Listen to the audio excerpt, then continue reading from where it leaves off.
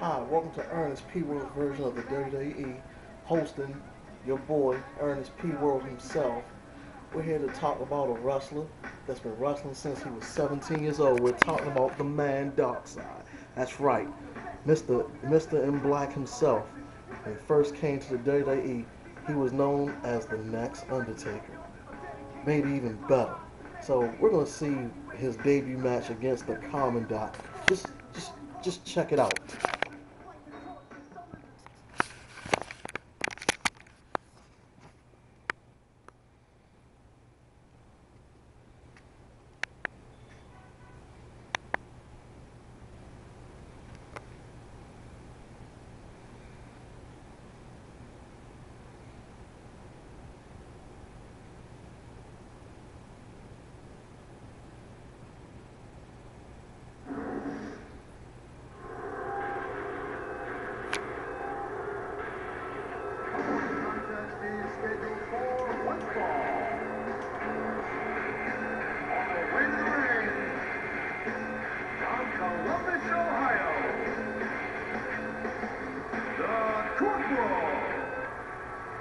Yeah, this is gonna be an exciting match, folks. The Commandant himself, Mr. Cockiness.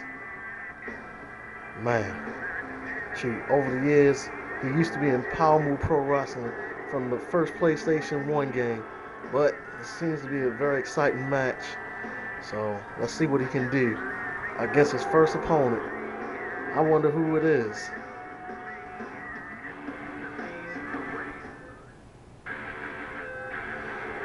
Well, he's getting hyped up, folks. He's getting ready for his greatest match ever. I think he'll be spiking his monkey after this match if he can win against his opponent.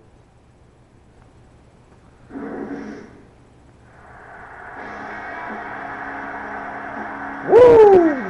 And who is this?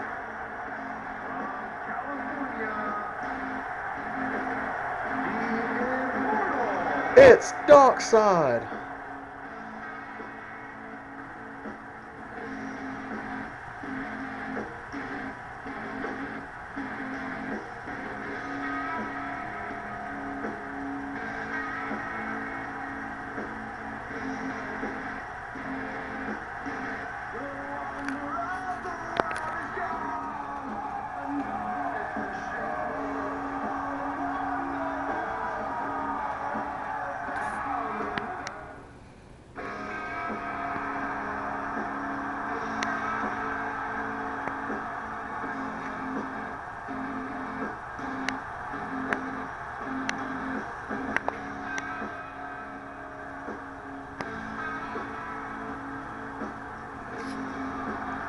When he first came to WWE, age 17 years old.